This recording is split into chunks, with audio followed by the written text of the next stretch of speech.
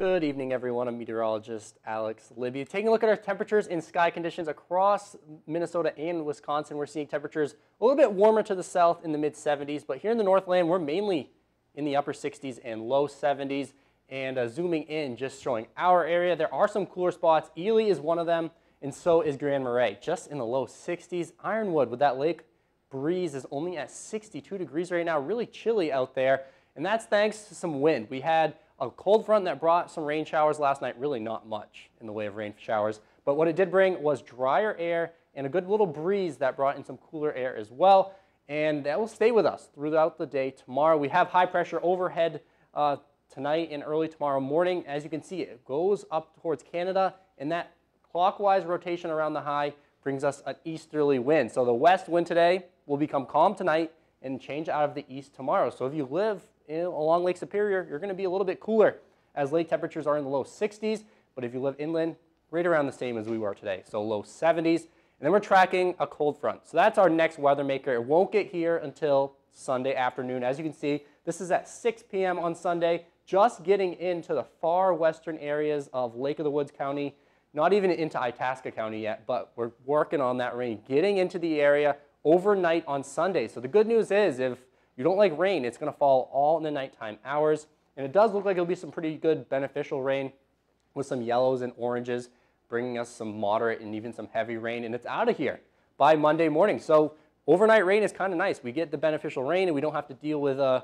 having to bring an umbrella to work that day. In the afternoon, we stay with those sunny skies. Zooming in, I'll time it out a little bit better. Tomorrow morning, we're going to have that east wind. This model showing a little bit of lake effect rain. I don't think that's necessarily going to happen. I don't think we're going to have a strong enough wind for that. But that's what this model is picking up on.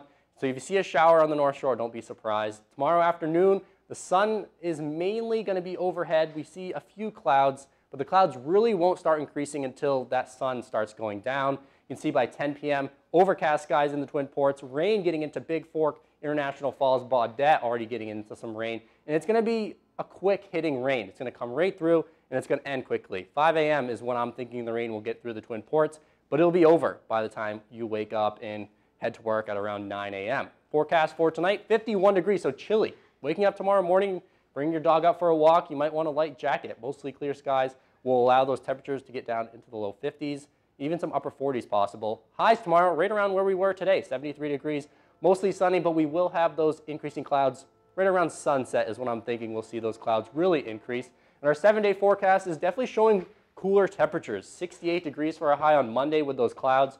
Tuesday we'll get up to 72 and Wednesday 74, but back down to the 60s for Thursday and Friday. And don't, what is that on Saturday? It says seven. Ignore that. I thought I, I thought I had that fixed. Seven like degrees seven. already. We have, a, we have a low of 49, a high of seven. That doesn't make any sense. I, I think uh, 71 on Saturday.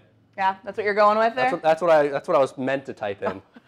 Sounds good. Yeah, I mean, honestly, this is. I was saying this to someone yesterday. This is my favorite time of year when we're not quite too cold yet. We can go outside with a sweatshirt or a flannel on. It's just perfect Duluth weather. And the good news for the rain, it was looking like it was going to be Monday during the daytime hours, but it's going to be Sunday night. So good news for rain haters. Yes, or rain haters or people that don't want to start the work week with some rain. There. Yeah. All right. Thanks, Alex.